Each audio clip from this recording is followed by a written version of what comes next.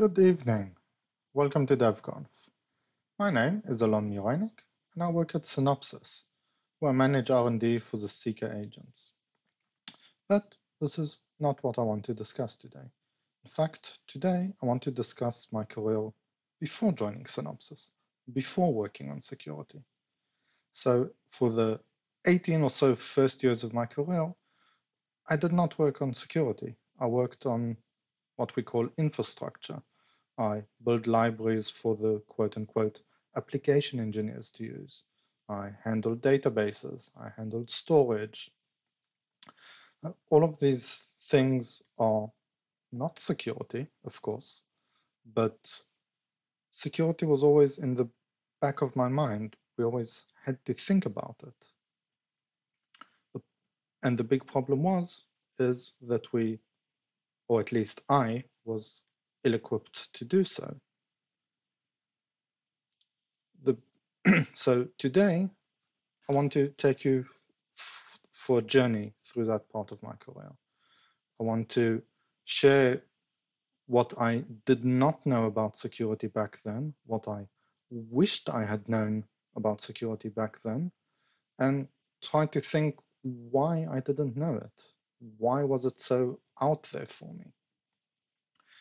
So I think that like a lot of problems, like a lot of issues, this all starts with perception. Software engineers, in a gross generalization, often tend to have extreme opinions, at least, uh, at least when it comes to technology.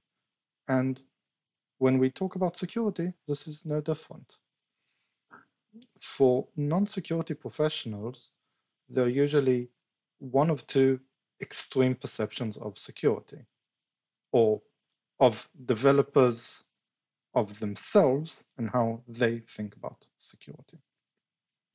One extreme, of course, is the developer who knows everything, he or she are super smart and no one can teach him anything because they are so smart.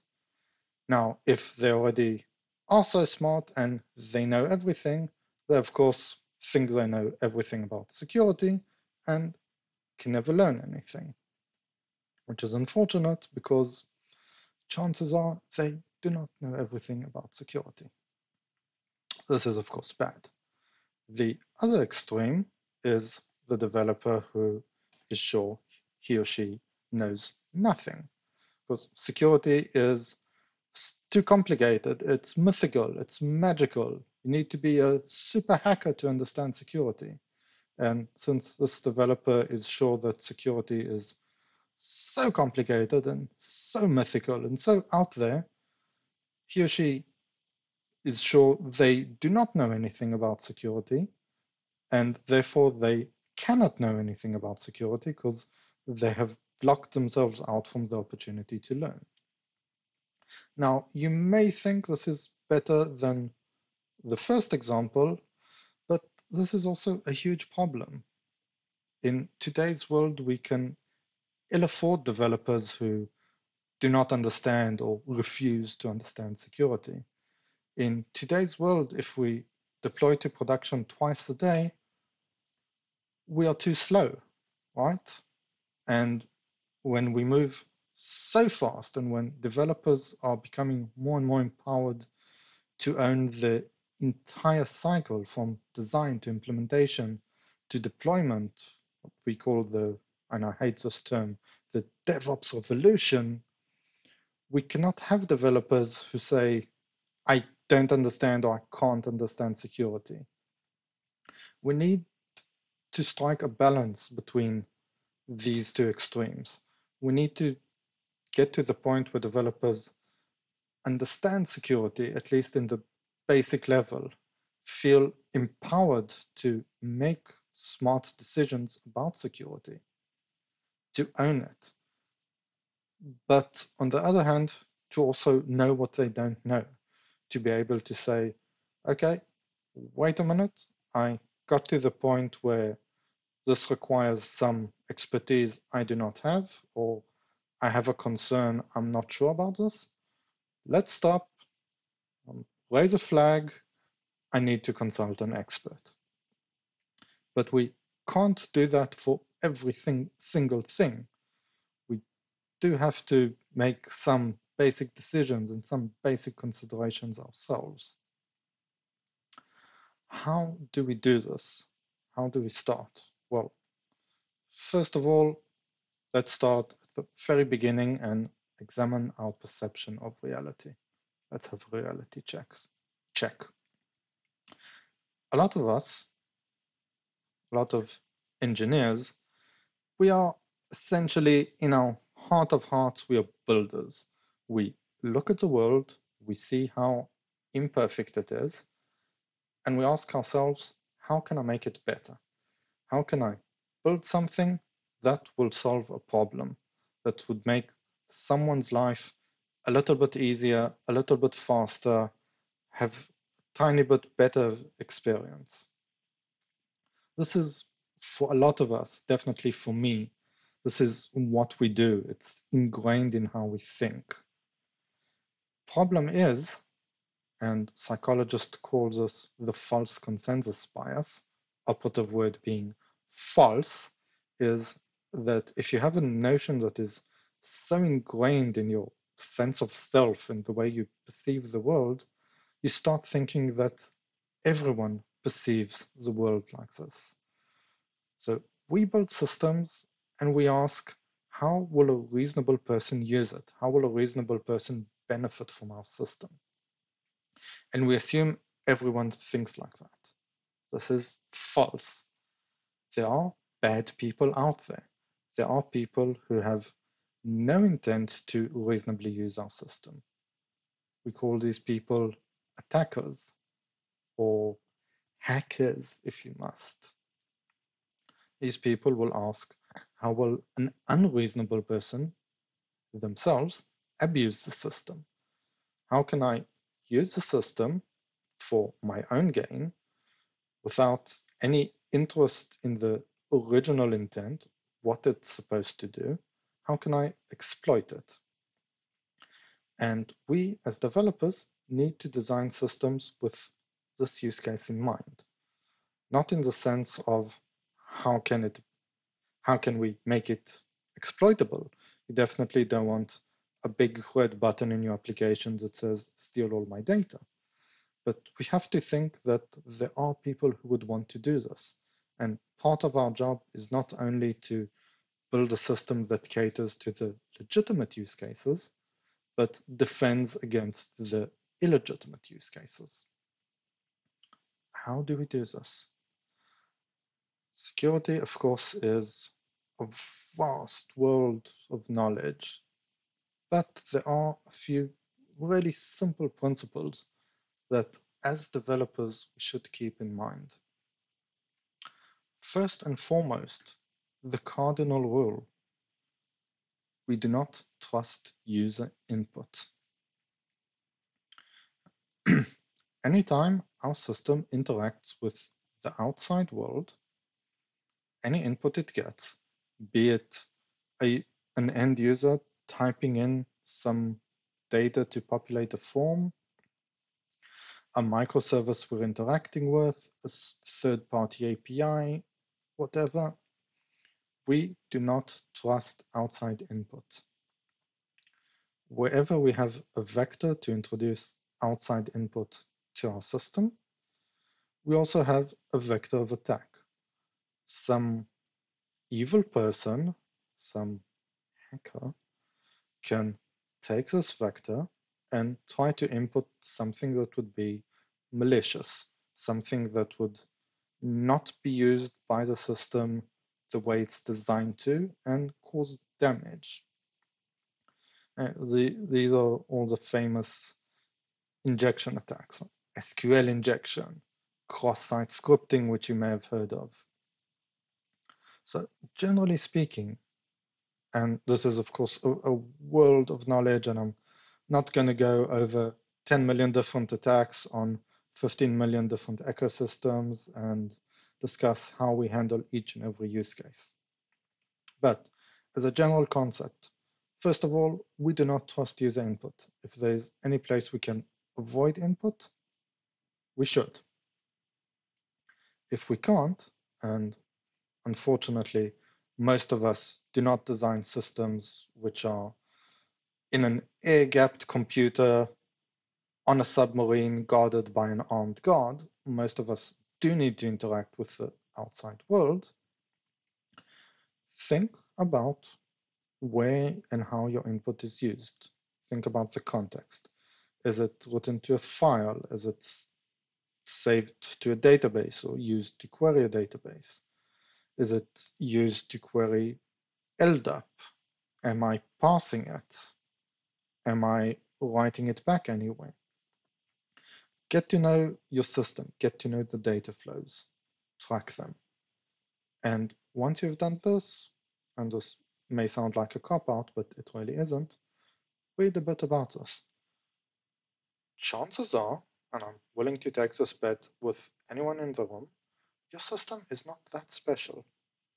Chances are, whatever you're doing with the data has been thought of before. There are a lot of systems that write to databases. There are a lot of systems that save to files. There are a lot of systems that parse XMLs. Chances are your system isn't that unique. And if it is not that unique, chances are there is literature on common security vulnerabilities for that area and on how to avoid them. And when I say literature on how to avoid them, most often libraries. Best practices, how I can use my components or what library I can use to defend against these common practices or common vulnerabilities. These are often called sanitizers or validators. So get to know your ecosystem, get to know the security tools in them, and use them. So now that we thought about malicious data, let's take the next step and talk about malicious volume. As engineers, we have become really, really good at thinking of scale, thinking how my system will cope with an increasing volume of input, of data, of usage, which is great. The problem is we often think about this in the positive terms.